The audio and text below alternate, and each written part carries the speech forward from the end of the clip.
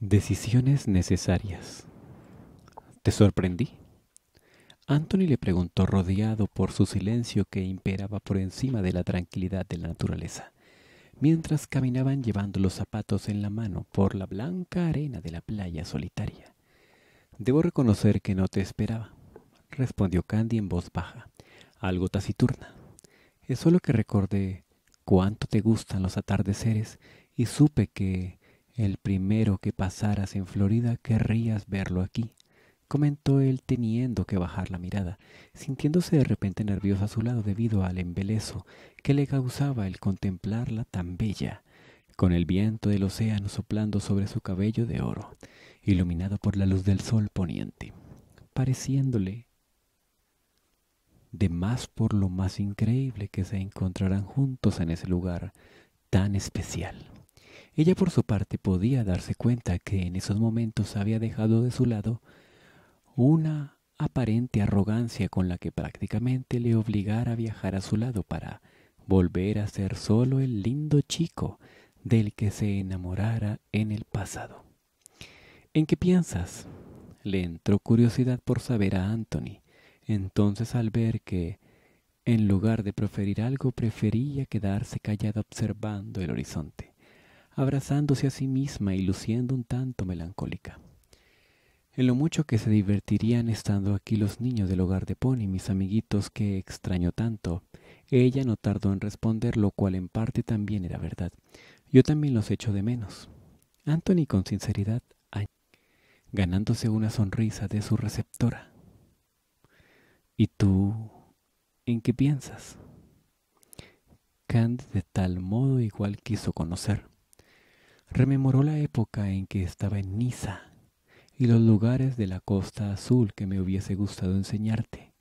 Él se complació en satisfacer su curiosidad evocando con nostalgia aquellos tiempos y los sueños olvidados de aventuras que tuviera planeado para vivir con él cuando se reunieran, que nunca se concretaran. Claro, antes de que sucediera todo lo que aconteció, tuvo que mencionar y entre ambos de inmediato se suscitó un incómodo silencio que duró varios segundos, hasta que él, preocupándose por otro tema, agregara. Y ahorita con el implacable monstruo de la guerra, quién sabe si todavía aquellos sitios que tanto me cautivaron todavía siguen en pie. Candy se convirtió al instante por su sufrimiento imaginando la angustia ella se conmovió que sentía por los amigos y conocidos que con seguridad dejará allá. Ella en un ademán afectuoso para reconfortarlo, le acarició el brazo haciendo saber que comprendía su pesar. Esto pasará algún día y podrás volver. Tiene que pasar. No puede durar para siempre, expresó convencida logrando que él despejara su mente de aquellos pensamientos asiagos. Lo sé y lo siento. No voy a dejar que me invadan de nuevo cavilaciones deprimentes teniendo la suerte de estar contigo aquí y ahora. Este viaje a tu lado ha sido realizar un anhelo que tuviera desde hace mucho tiempo, confesó, haciéndole agachar la cabeza ruborizada. Ella se sintió así en la necesidad de ser también el todo honesta con él, percatándose de cuán contento estaba y parecía disfrutar de su compañía. Anthony, no puedo engañarte. Hay algo que tengo que decirte. Deteniéndose de repente entonces soltó. Él sin alarmarse todavía acostumbrado a ese tipo de impulsos proveniendo de ella, mostró buena disposición a prestar atención a lo que tuviera que confesarle. Parto mañana a primera hora y pensaba dejarte una carta con el personal de la casona como despedida. Sé que suena ingrato, pero no me sentía con el valor suficiente para hacerlo de frente. Disculpa. Dejando caer la mirada, Candy admitió. ¿Estás diciendo que planeabas marcharte sin contármelo? Anthony, sorprendido, pero aún así con ganas de bromear, le recalcó. Ella se mordió de inmediato el labio inferior, cual niña que se reconociera en un aprieto, y a él aquello le hizo sonreír, liberando de su mente el impacto desfavorable que la inesperada noticia le produjera. Bien, en ese caso creo que, como acompañante, ofendido que precavida no perdió el tiempo en intentar ponerse a buen recaudo. Ah, no. ¿Qué piensas hacer? manifestó alerta y alejándose de él. Enseguida lo verás, respondió Anthony entonces soltando todo y lanzándose a perseguirla con una recita traviesa. Candy prefirió un pequeño grito y corrió con naturalidad, reacción y, para cuando se dio cuenta, minutos después ambos parecían un par de niños, sin importarles dejar regadas sus cosas, jugando a las atrapadas por aquella extensa playa. La atrapé, señorita Candice White. No podrá escapar. Anthony le advirtió y, aunque ella continuaba todavía siendo veloz como gacela, tal como solían alabarle en la infancia todos en la casa hogar, su falta de práctica a causa de su ocupada vida permitió que él cumpliera al final lo que dijera, alcanzándola con su físico de atleta, sin agitarse siquiera demasiado, al contrario, que en su caso, llegando ese momento Anthony, sin dudarlo. Ni un segundo la cargó en sus brazos tal como solía hacerlo en los viejos tiempos, y aun en contra de sus protestas adivinando lo que iba a hacer, la condujo hacia el mar. Anthony, detente, bájame, ¿quieres? Sus deseos son órdenes. Respondió él sin complicarse, solo que entonces ya, adentrados en el agua, gozó dejándola caer para que completamente se empapara. Su inmediata franca carcajada, sin embargo, logró que Candy dejara de lado su total indignación y cambiara por ansias de vengarse. De tal manera, no pasó mucho hasta que se levantara dispuesta a dar guerra. Me las vas a pagar, declaró, comenzando a salpicarle y lanzarle enseguida agua tanto con las piernas como con los brazos con tienda a la que Anthony correspondió abiertamente y que no tardó en arrancarle risas a ambos por igual, disminuyendo la tensión que les embargara. Todo iba bien hasta que él, aprovechando ser superior en fuerza y que sin problema podía ganarle, alcanzó y la llevó más adentro sorteando pequeñas olas hasta la parte en que el agua les llegaba casi hasta el pecho, pero aún podían sentir la arena bajo los pies.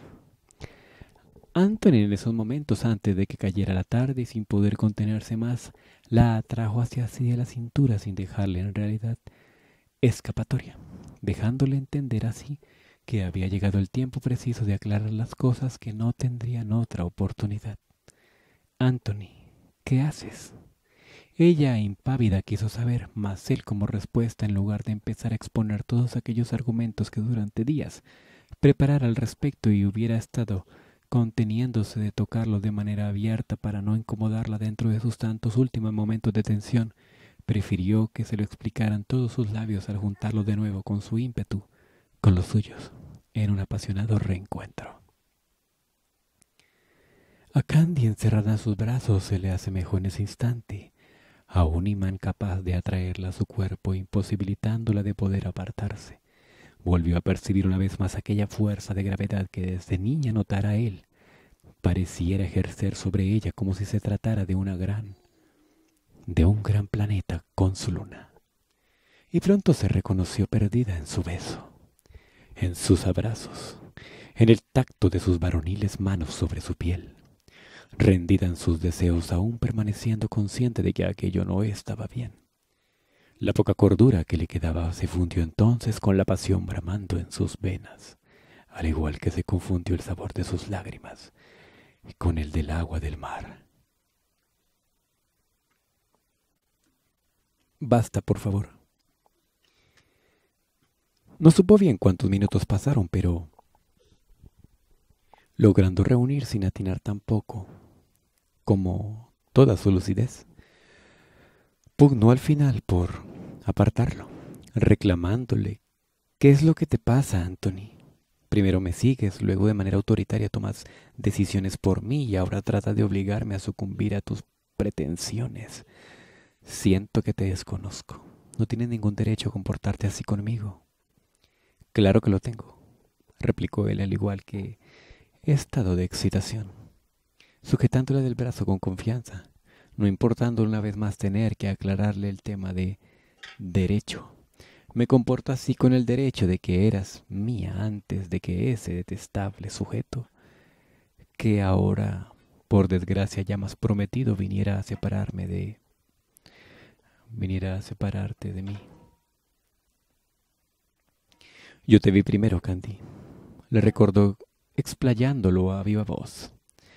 Ella, impresionada al igual de aturdida, prefirió guardar silencio y soltándose con coraje enrumbarse a la playa con la intención de volver a poner en práctica lo que más hacía últimamente, tratar de huir de él. Antonio, sin embargo, sin dejar a un lado su emoción, fue detrás de ella. Candy, espera. No te vayas, exigió. Deja de escapar, es mejor que abordemos esto de una sacrosanta vez por todas. Ella, siendo Uso de todo su autocontrol, aún ofuscada, se detuvo en ese instante para voltearse a atenderlo. No dispuesta a permitir que continuara creyendo que era una cobarde. ¿Qué me vas a decir ahora? ¿Que eché por la borda mi compromiso todo lo que en tu ausencia construí? Por si no lo llevas presente, te recuerdo que fuiste tú el que decidiste ponerle un fin a lo que teníamos. Yo en aquellos tiempos estaba confundida. Lo reconozco, pero tú prácticamente me lanzaste a los brazos de Terry. Me ayudaste a elegir el camino por el que transito ahora. No lo niegues, encontrando que restregarle aquello era como liberarse de un nudo que tuviera arraigado profundo en la garganta. Se situó después más tranquila. No obstante, él sin dar su brazo a torcer con su postura no perdió tiempo y se aproximó a ella desarmándola. Lo sé. Admito en parte mi culpa. Necesitaba que despejaras tus dudas, que aprendieras a diferenciar entre ambos, que reconocieras lo que es el verdadero amor. Y ahora que lo conseguiste, estoy aquí para reclamarte de nuevo. Creí perderte entonces y me dejé vencer estando ciego por los celos. Pero no imaginas cuánto me arrepentí después del peor error que cometiera en la vida. Le habló con tanta entrega y dulzura que a ella, en cuestión de segundos, le hizo tambalear sus resoluciones. No sigas insistiéndome en esto, necesito que te detengas, susurró prácticamente. En una súplica, atribulada por su cercanía y aquel romanticismo innato del que extrañara sin darse cuenta de cuánto hasta esos momentos. Y yo necesito que me digas la verdad, añadió Anthony a su vez. Necesito que niegues que aún me perteneces o, en todo caso, reconozcas que te encuentras igual que yo, confundida, que admitas en voz alta que lo nuestro no se extinguió, y no permitiré en esa ocasión que te escabullas por la tangente porque lo sentí. Percibí lo que en realidad sientes, Candy. Ahora estoy seguro de que todavía me quieres también.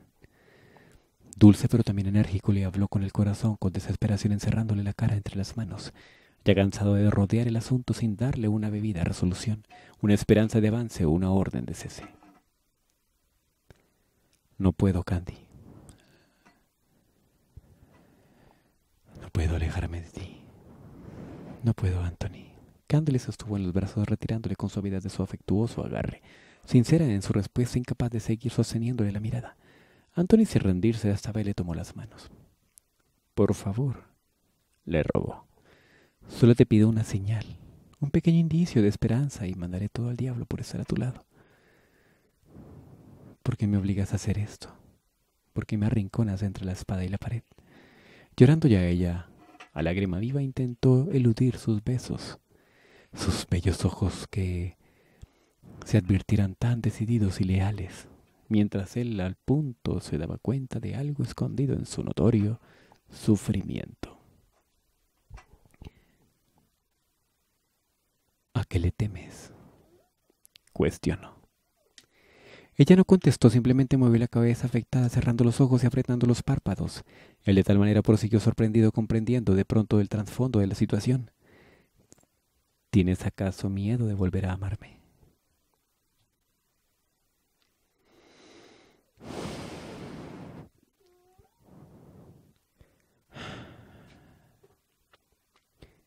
Candy suspirando, secándose las mejillas y riéndose ante su pregunta, dejó a un lado su debilidad para adoptar una postura de serenidad que demostraba la íntegra dama en la que se estaba convirtiendo y hablar fuerte. Al hablar fue muy clara. Anthony Berauer. Te recuerdo que no soy la única con problemas respecto a esto. Separamos nuestros rumbos un día.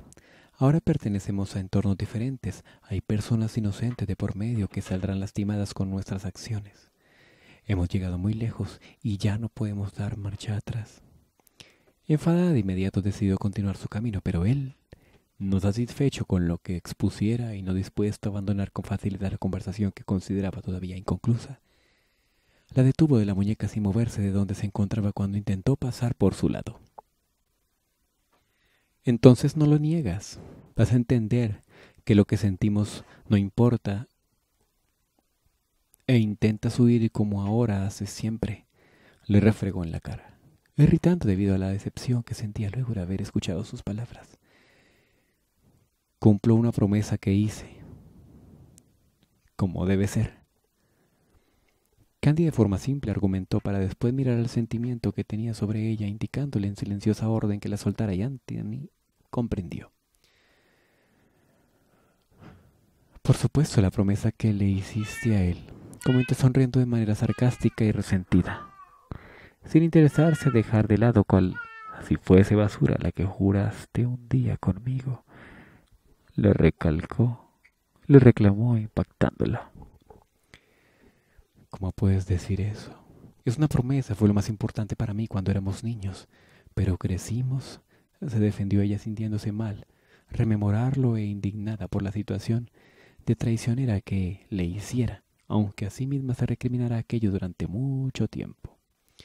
Casi niños, corrigió él, quizá demasiado jóvenes en edad, pero sí lo suficiente grandes para saber lo que era el amor. Ella guardó silencio ante eso sin poder refutarlo y miró la arena una vez más, lapso especial que él aprovechó para proceder a acariciarle con ternura una de sus sonrosadas mejillas.